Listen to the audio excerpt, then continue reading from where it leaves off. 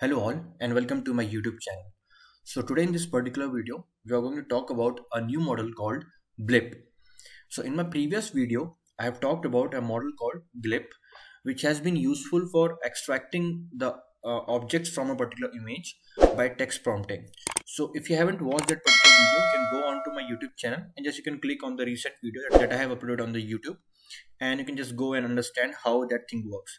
So similar to that Blip model, uh, which was based on text prompting and it, it was able to extract the objects from the particular image and and it was able to annotate that particular object on that particular image right? So this particular blip model will be useful in a similar way like you have to you can use it for visual question answering. You can also use use it for the uh, image captioning. You can also use it for uh, image and text matching. So you can use it for various tasks uh, by using a text prompt so it is very similar to uh, the things that we are we are seeing uh, these days right now. And we can eventually be moving towards a text prompt uh, generation and understanding uh, of the of those kind of model which are able to understand the text and the image together right? So this is one of the model that can help you to extract the questions or answers from a particular image.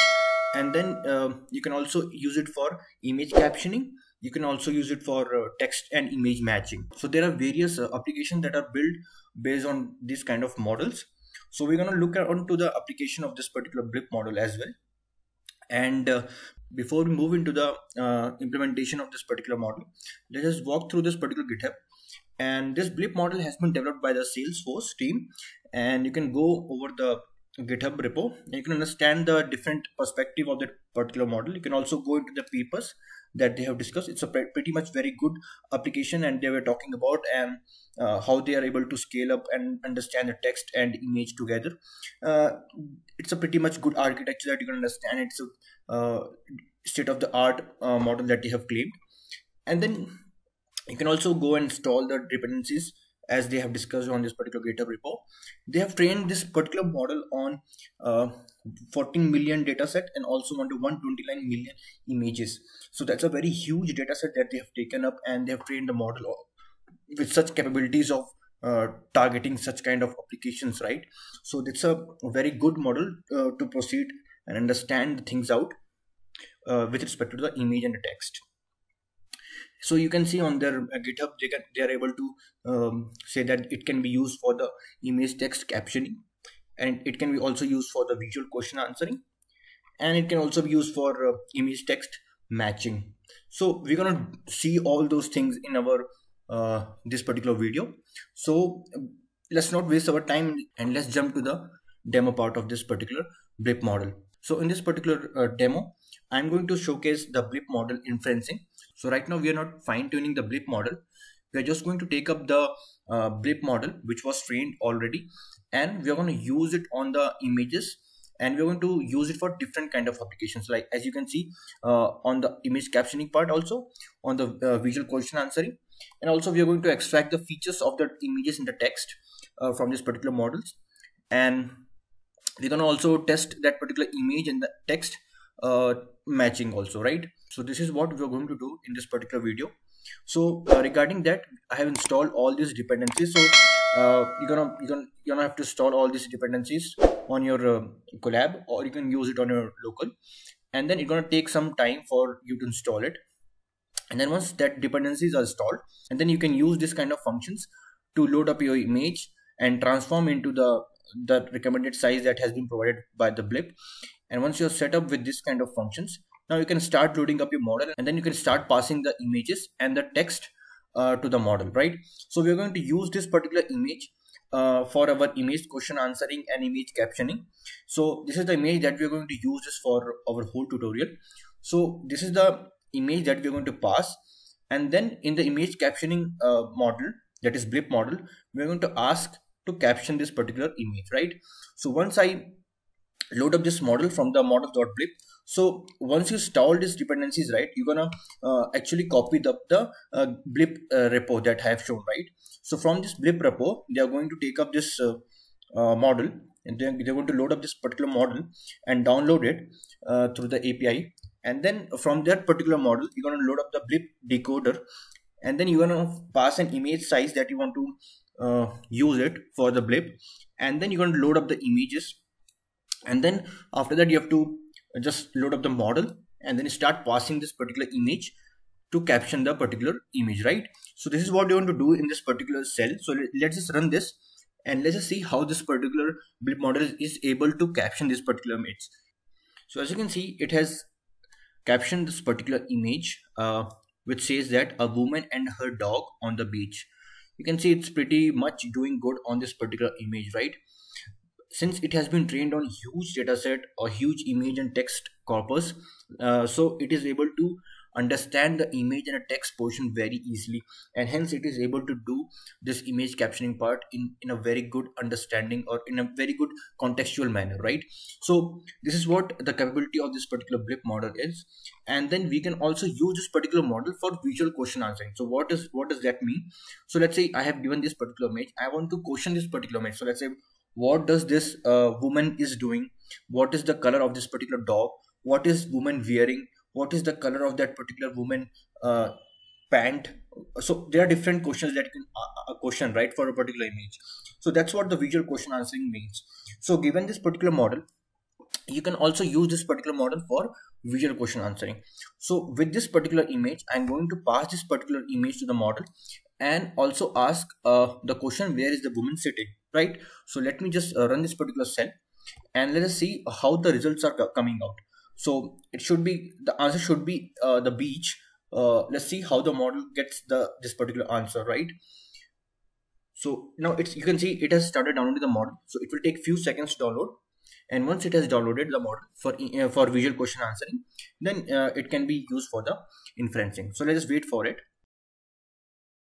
so once the model has been downloaded you can see that it has created an answer that on beach so you can see that where the woman is sitting i've questioned this particular image and the model has written what the answer for this particular image right? I can also change the question like uh, what is the uh, what is the color of dog right? So we can just question this and let's rerun this particular cell so that we, it can give this answer for it. So it might take a few seconds to give you an answer back. So you can see it has printed the answer 10 which is pretty good. Like you can see this, uh, this particular dog is of kind of beige or or tan color. So you can see the, the model is able to understand the uh, the question and also it is able to decode the answer from the image uh, with the color name tan right? So this is the capability of a blip model uh, with respect to the visual question answering now let's move to the feature extraction so let's suppose you want to extract uh, the image embeddings and the text uh, which actually relates each other right? So you can use this blip model as well. So you can use this particular image and a caption. So let's suppose a woman is sitting on the beach with a dog.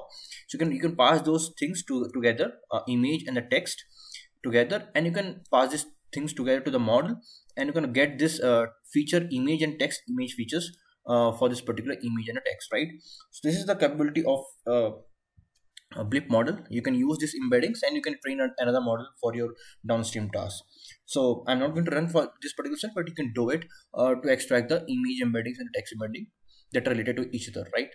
Now the next uh, task comes in is uh, image text matching. So let's suppose uh, you have an image uh, which is this image and you want to understand uh, the caption given for this particular image are related to each other or not. So let's suppose i give a caption like the woman is sitting on the beach with a dog and this image. So whether this uh, text or this caption is actually uh, a caption of this particular image or not. So this is what we are going to target in this particular image text matching.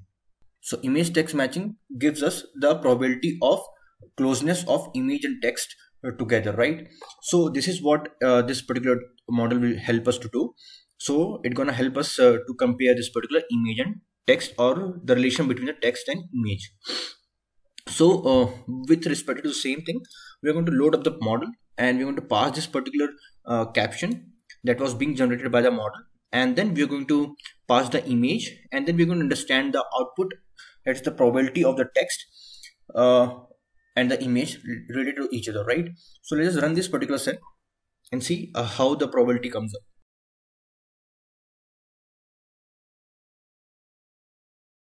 Okay, so you can see uh, the model has predicted the uh, that probability of image and text uh, matching is 0.99 and also the cosine similarity between the text and the image embeddings. So this is this is what you can do with this particular model.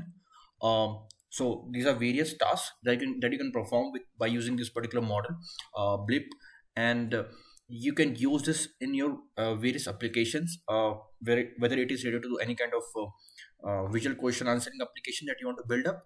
Or if you if you don't have any kind of label data and then you want to use this a particular model to label your data. So let's suppose if you want to extract the color of a particular t-shirt that woman is wearing this particular image. So you might not be having the uh, answer for this or you might not be having any label for this particular t-shirt or the particular image. But you can use this kind of model to extract the uh, labels for your particular image and and then you can have a label data and then you can use it to train your own uh, custom model over that right? So this is the way that you can uh, use this particular models uh, which is prompt based models to understand and to label or to help you on labeling the data.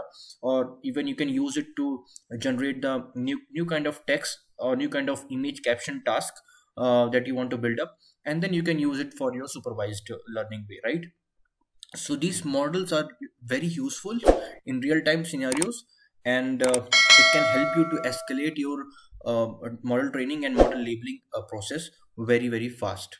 Right. So i hope you enjoy this particular video. So if you like my efforts do support my channel. Uh, thank you